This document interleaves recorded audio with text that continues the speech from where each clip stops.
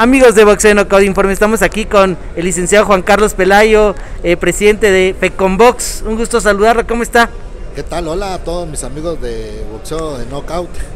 Pues aquí saludándote a la orden, hermano, eh, atendiendo una reunión aquí con el licenciado Mauricio Alemán, presidente del Consejo Mundial de Boxeo y obviamente en el martes de café que tradicionalmente celebra todos los martes. Oye, como lo acabas de comentar, una reunión que estás atendiendo importante como es martes de café, donde el tema central fue FECONBOX, pero nos gustaría que nos comentes un poco para la gente que te ve aquí en Boxeo No Code Informa, ¿cuáles fueron los temas esenciales, la carnita que se trató el día de hoy? Pues yo creo que lo más interesante es el tema de los títulos nacionales FECONBOX, que ya lo estamos viendo en televisión. Antes no los mirabas, hoy ya los empiezas a ver creo que ha sido un gran acierto el poder trabajar con una empresa como la con la que estamos trabajando, que nos dé la oportunidad de poder este, eh, pues, dar la oportunidad de, presentar y que sea una gran plataforma para los campeones nacionales FECONBOX. Y una de las cosas más importantes que tiene que ver con la carta tiene que ver con el tema de las salidas médicas, con el tema del control del boxeo a nivel nacional. Y creo que eh, como parte de ese trabajo también tiene que ver el tema de que ya se empiezan a subir todas las salidas, todas las peleas en Borre. Creo que se está haciendo un trabajo por parte eh, de, ese equipo que se formó para trabajar directamente Consejo Mundial de Boxeo, Marina Borrec y Feconbox para que no se perjudicara a los peleadores que hacen una pelea pareja con aquellos que hacen peleas desiguales, ¿no? O peleas de boxeo turístico. Creo que eh, quien entiende esa parte va a entender que estamos en favor de subirle de nivel al boxeo y no solamente que sea turismo boxístico aquí en nuestro país. Oye, sabemos que siempre han tenido una buena relación con Box, el WBC, BoxRec. Sin embargo, pues platicamos en la pasada convención el, el año pasado y ya se están viendo los cambios de aquellas reuniones que tuvieron de trabajo en esta convención 59 del WBC. Pues sí, mira, afortunadamente eh, se está trabajando en todas las carteleras a lo largo y ancho del país.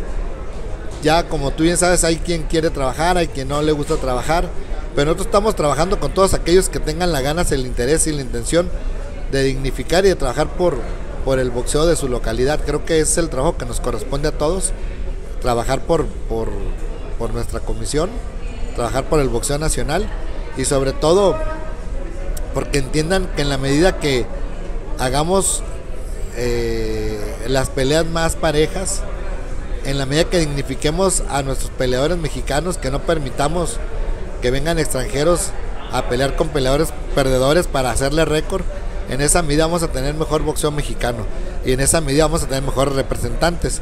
Creo que ese es el gran objetivo, no permitir que vengan a, a usarnos como escalofón de nadie y que quien quiera venir a pelear en México, pues que venga y pelee con un peleador mexicano como lo que siempre hemos sido, los guerreros aztecas. Le están dando más lustro a los campeonatos de FECONBOX. Es correcto, ya estamos este, trabajando por poder posesionarlos, por poder eh, darles ese reconocimiento.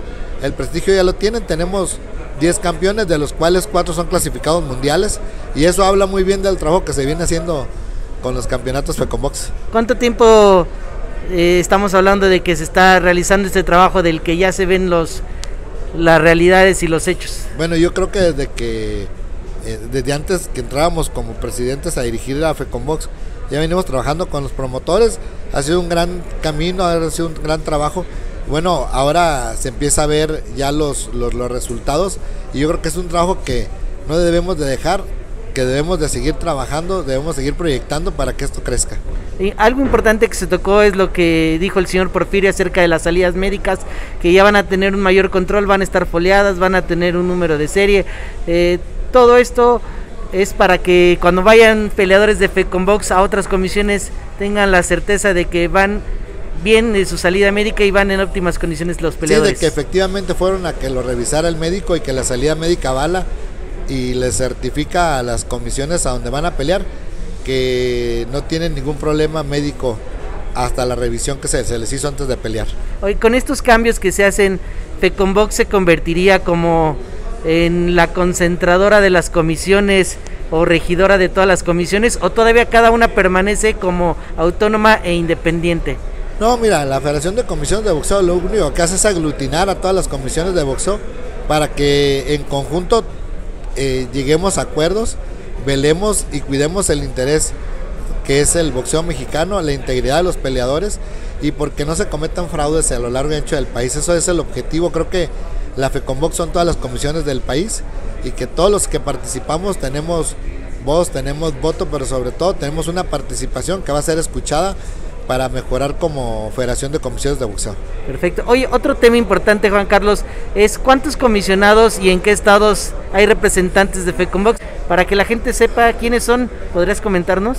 Pues mira, no me sé el listado completo de quién lo integramos, pero eh, sí te puedo asegurar que en donde en cualquier en cualquier estado de la República donde haya una comisión de box va a estar afiliada a la, a la, a la FECOMBOX y no necesariamente este significa que todas las comisiones de boxeo de algunos estados estén debidamente afiliadas, pero en su gran mayoría, la mayoría de las comisiones de boxeo de la República Mexicana están afiliadas a la FECOMBOX. Perfecto. Juan Carlos, ¿algo más que tú nos quieras comentar que es importante? No, bueno, pues que vamos a seguir aquí trabajando en beneficio del boxeo mexicano, que sigan viendo este, los, los títulos que se van a disputar por televisión muy pronto y que pues ojalá se den cuenta que estamos trabajando en beneficio de, del boxeo mexicano, de que estos títulos FECOMBOX sean una plataforma, un escalofón para que pronto puedan estar clasificados mundialmente y puedan disputar un título mundial. Perfecto, bueno, pues de verdad que solamente me queda agradecerte tus palabras para Boxeo No Informa. Eh, te agradezco y mucho éxito. No, pues muchas gracias a, a, todos tus seguidores de Boxeo No Informa y sobre todo gracias por siempre difundir eh, las actividades que hace FECOMBOX comentarles que sigan la página de FECOMBOX y ahí se pueden dar cuenta, se pueden percatar de los boxeadores que están suspendidos, este, dónde los noquearon, cuál ha sido ese caminito que han recorrido para que los suspendiéramos. Perfecto, pues amigos, ya aquí tenemos toda la información de la mano del presidente de la FECOMBOX, Juan Carlos Pelayo. Muchas gracias. Gracias a ti. No olvides suscribirte al canal Boxeo de Knockout Informa, donde podrás ver entrevistas, datos y lo más relevante del pugilismo a nivel nacional e internacional. Sé parte de esta gran familia y no dejes de suscribirte. Te mando un beso a tu amiga Carla Pulido.